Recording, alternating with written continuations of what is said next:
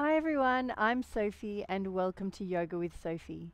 Today we are doing a full body yoga stretch. This one is suitable for all levels, so take modifications as needed. And remember, it also depends on the time of day you're doing it. So if you're doing it in the morning, you may not be feeling quite as warm and open, so just keep it nice and gentle. Let's enjoy moving our bodies. As you can see, I am outside, so I apologize for the sound of any traffic or the birds, but let's enjoy being in nature as well. All right, let's start with some nice and gentle neck rolls. Just tilting the head to the right, circling around, tilting to the left. Nice and gentle back through center.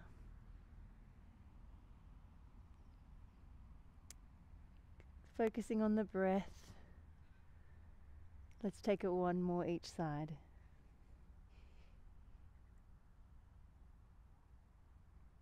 And back the other way.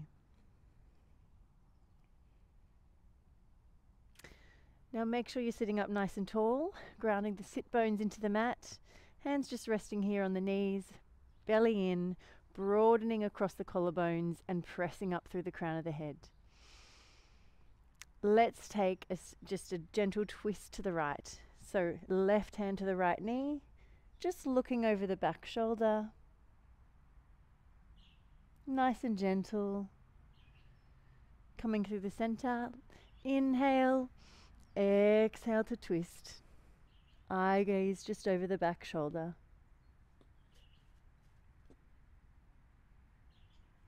And back to center. Let's come to our tabletop. So hands shoulder width apart, wrists under the shoulders, knees under the hips. Let's inhale to start. Exhale, draw the belly in, arch the back. Feel that stretch through the back of the body, stretching the spine. And the other way. Exhale, come to cow. Lifting the heart. Let's go the other way arching like the Sydney Harbour Bridge, pushing the mat away, and then come to cow. Exhale. Two more just like that. Arching high and dropping through. Last one. And back. Beautiful. Let's come to a side stretch. So pressing the right hand into the mat, come to the side. We want the left foot flat on the ground. Reach the arm nice and high. Inhale. Hold here. Long stretch right from the top fingertips to your back heel. Exhale. One more inhale. Find as much length as you can. And exhale. Circle the arm back and down. Other side, pressing the left hand into the mat. Come up on the knee. Foot presses down. Inhale, lift the arm. Exhale here. One more inhale. Find as much length as you can through the whole side of the body. And exhale, coming back down. We're now going to take extended puppy. So with this one, it's kind of like child's pose. We reach the arms nice and long. Forehead comes to the mat. And keep the butt nice and high so the sit bones are pressing to the wall behind you. Chest comes through. You want to feel a nice stretch through the shoulders, opening the chest and into the back as well. If this is a little too much to you, you're welcome to come down to child's pose and just come back to the heels. Still for that beautiful stretch through the back of the body. Hold here. Breathe. And then coming out of it, let's press up to downward facing dog. So again, hand shoulder width, tuck the toes, knees lift off, press the butt up nice and high, and feeling that stretch through the back of the legs, through the back of the body. Bend the knees a little, because the most important thing is that we keep the spine nice and long here. Keep the belly drawing in. And let's pedal through the feet. Nice and gentle warming through the feet, through the backs of the legs. Keep the front ribs drawing in. We don't want to splay out like this. Keep them drawing in. eye gaze somewhere between the feet and the knees. And then pressing the heels down towards the earth. Let's lift the back leg nice and high. Foot is flexed. Inhale. Exhale. Draw the leg through. And let's come to our runner's lunge. So back knee comes down. Pelvis in neutral alignment here. Feeling a beautiful stretch through the front of the hip. You can stay right here, or if you're ready to take that a little deeper, hand comes down. Let's heel toe the foot out a little wider. And you're either here or you can come for an open adductor stretch. So just dropping forward on the fore, forearms here. Keep the chest nice and lifted. Breathe into it, encouraging the muscles to relax.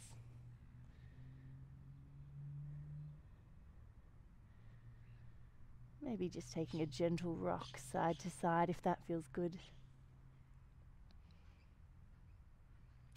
Pressing up on the hands, let's come back to our downward facing dog. Hips nice and high behind you. Lifting the front leg, flex the foot, inhale. And exhale, draw the leg through. Plant the foot down, knee comes down. Runner's lunge.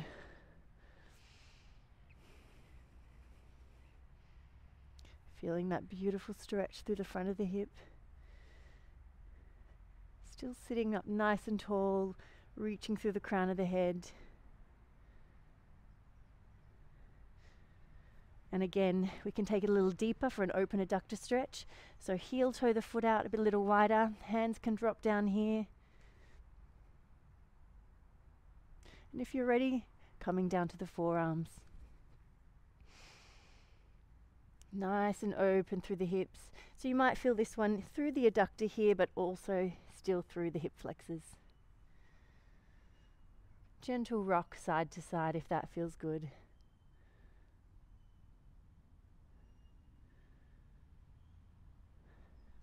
And back to our downward facing dog. Stretching right through the arms, pushing the floor away, stretching through the back of the body and let's walk the feet to the hands for ragdoll. So feet are hip width apart. Either hands just reaching long, keeping that belly drawn in, knees nice and bent. Or you can take the back of the elbows and come to your ragdoll here. Gentle rock side to side if it feels good. Shaking the head, making sure the neck is relaxed. Let's take a halfway lift. Hands to shins, halfway lift. Belly in, spine nice and long here. And then we're going to come to Padangusthasana. So this is forward bend, big toe hold. So you can either keep your hands on the shins if that's enough for you, or peace fingers come to the big toes. Inhale, and then as you exhale, draw the chest towards the thighs. So this is a this is an in, quite an intense stretch for the hamstrings.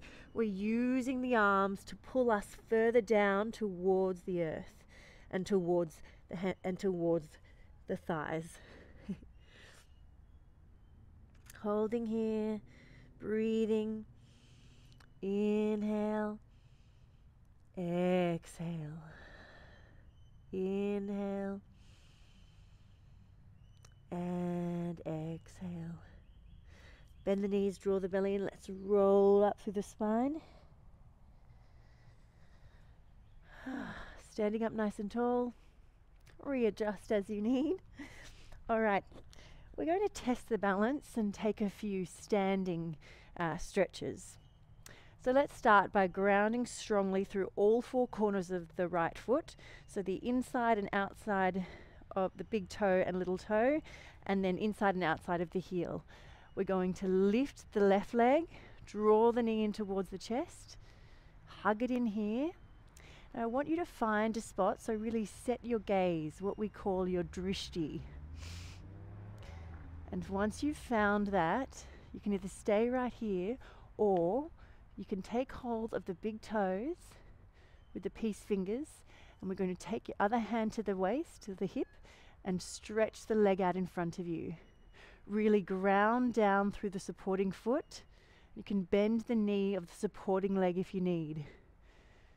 Really set your gaze, which will help set your mind. If you wobble, that's okay, or fall out of it.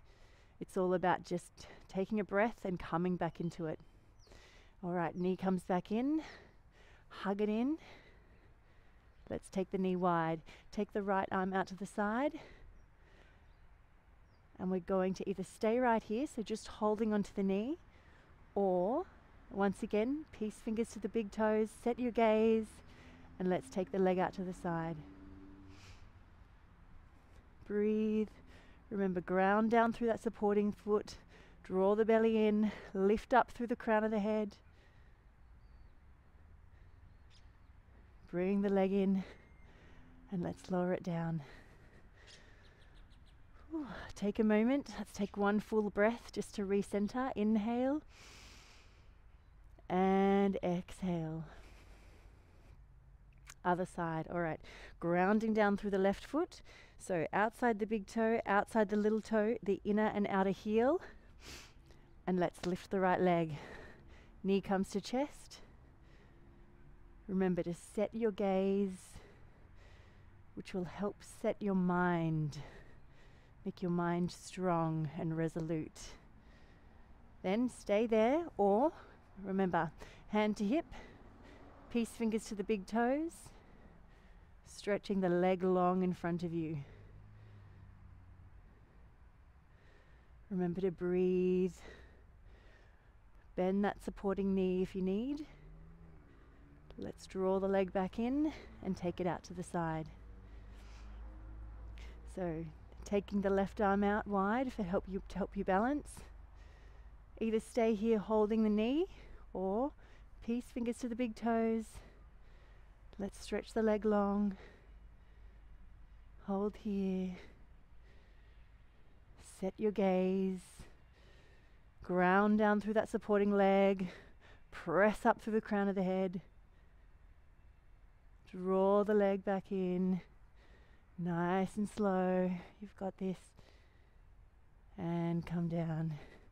Beautiful. While we're here, let's just take a quadricep stretch. So let's take the arm out wide for our balance. Draw the left foot up behind you. Take the ankle if you can and draw the heel towards the butt. You want to keep the pelvis in neutral alignment here. So rather than sinking back like this, keep the pelvis up here by drawing the belly in. And the other side. Foot comes down, arm comes wide, leg comes up behind you. Breathe into it. Keep that pelvis in neutral alignment. Draw the belly in. And come down. All right, coming back down to the mat. So either a sumo squat here, so toes are slightly turned out, knees come over second toes, and either forearms to thighs, or if you've got a little more range through the adductor muscles, we'll come to Malasana. So heels come uh, in a little more, press the back of the arms into the knees, chest lifts here, feeling that beautiful stretch through the adductor muscles and into the hips. And we're going to take a side bend while we're here. So you stretch the arms out wide, pressing the back of the arm into the knee. You can hold here, or if you have the range through the shoulders, you can take the bind. So for the bind, the arm wraps behind the leg, behind the back, and we take the fingers. Shoulders rolling back and down. Keep the heart lifted.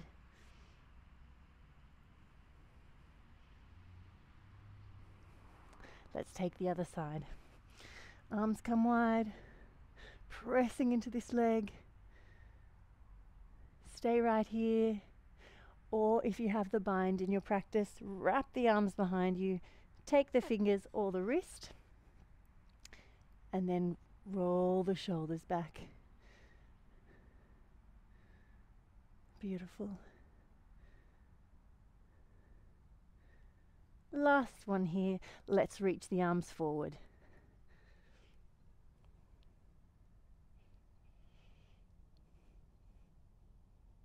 I've probably taken myself off the screen.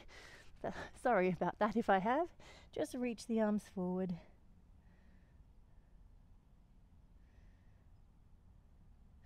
And coming out of it.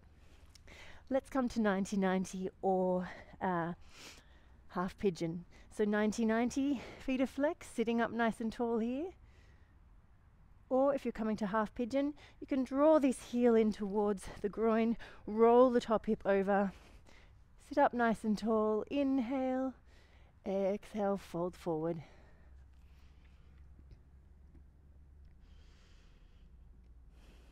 Breathing into it. Beautiful posture, beautiful movement and stretch for the hips. and coming out of it. Rolling around to the other side, setting up 90-90 or half pigeon. Heel comes to groin, roll this top hip over, we sit up nice and tall, and fold forward. Taking a moment here, just grounding down bringing the gaze inward. How are you feeling in this moment? Is your body starting to warm and open, lengthen, and come out of it? Let's come to Paschimottanasana. So, uh, seated forward bend. Feet are flexed out in front of us. Sit up nice and high on the sit bones lifting the arms high. Let's inhale here. And as you exhale, reaching the torso out away from the pelvis and come forward. If you can't have the leg straight, if that's too much for the hamstrings, bend the knees. But what we want is to really bring the chest close to the thighs, just as we do in a standing forward bend. Because this protects the lower back and we want to feel the stretch into the belly of the hamstring muscle. So wherever you are is absolutely perfect for your body. It's all about the intention that you bring to it and be patient and take and just consistent and you'll get the results as you as you go along. So holding here, if you've got the range, you can take the fingertips and reach forward. But just remember to come to only 80% of your range. All right, and coming out of it. Let's come to a reverse tabletop. So pressing the feet into the earth about hip width apart. Hands come just close to your butt, so under your shoulders. Inhale here. Let's press down into the feet. Lift the butt nice and high. And really feel that stretch through the shoulders, opening through the chest. If it's better for your neck, you can keep your eye gaze directly in front of you. Otherwise, up to the sky. Let's take two full breaths here. Inhale. Exhale. Keep lifting that chest, lift through the hips. Inhale. And exhale. Neck, lower the head down, rolling down through the spine. And let's come to happy baby. All right, lying down in your back, either hands to the lower legs, the insides or outsides of the feet and just draw the knees down towards the armpits and take a gentle rock side to side. Feeling good, finding more length, more openness in the body.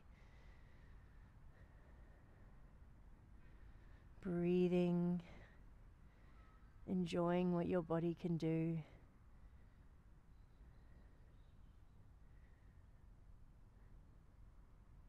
And now either coming to Supta Baddha which is extended butterfly, so soles of the feet together, knees wide, arms overhead, and you can take the back of the arms here, or coming to Shavasana, which is legs long, feet about hip width apart, rolling outwards, and arms by your side.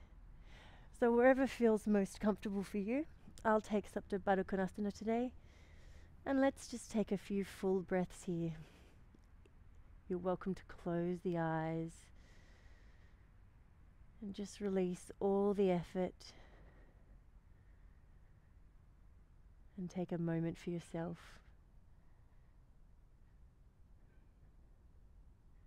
Just taking deep, full belly breaths, expanding the rib cage, letting the belly lift. And then as you exhale, the belly lowers down and the ribs draw back in.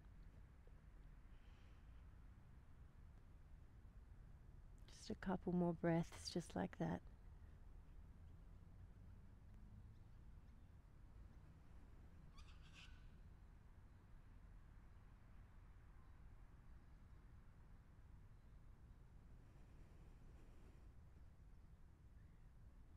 All right. And coming to sit on your mat. Coming to easy sitting pose. Feeling the earth support you. Feeling the hands resting on the thighs, broadening across the collarbones, and pressing up through the crown of the head. And open your eyes. I hope you enjoyed this full body flow, full body stretch. Here are a couple more flows I think you might like. I would love if you would subscribe to the Yoga with Sophie channel and leave me a comment and let me know of other flows you might like created for you. Have a beautiful rest of the day. Namaste.